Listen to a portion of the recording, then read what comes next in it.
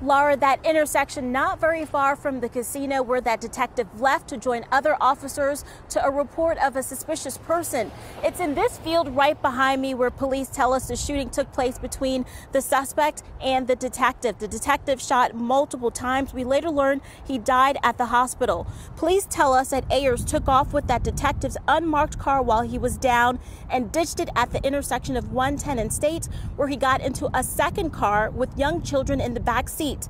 Police say he dumped that car in Bayshore where he carjacked a silver Ford Focus at gunpoint. And investigators have been out here for several hours combing through this field for any sort of evidence. They just cleared the scene about an hour ago. Live in Kansas City, Kansas, Taisha Walker, KMBC 9 News.